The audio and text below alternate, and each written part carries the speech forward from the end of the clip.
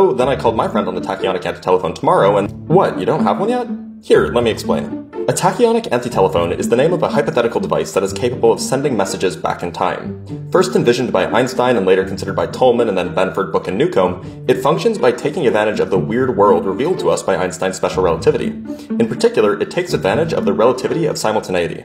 Let's work an example. Say that you transmit a signal at a speed 10 times the speed of light to your friend who is moving 99% the speed of light away from you.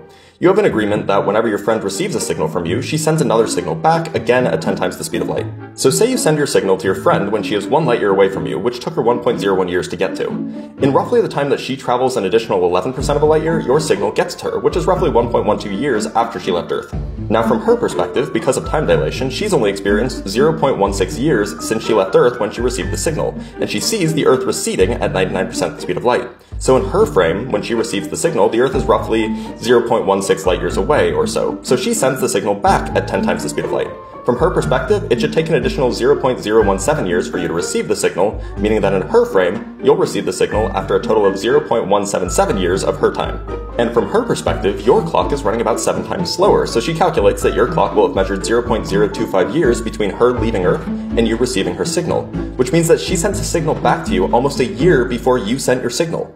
Now this can obviously lead to paradoxes, like your friend sending you a signal telling you not to send your signal in the first place. This causes a genuine causal contradiction. And so it's for this reason that many physicists think faster than light communication or travel must be impossible. Anyway, my friend called me on her tachyonic anti-telephone earlier today. She said something about returning a call.